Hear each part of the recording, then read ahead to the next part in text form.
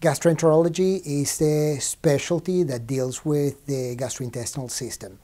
So that involves the, the stomach, the esophagus, uh, the colon, the small intestine, and solid organs such as the pancreas and the liver. The type of patients that come to see me are patients that are usually seen by another gastroenterologist and they're found to have a problem on a CAT scan or on a sonogram.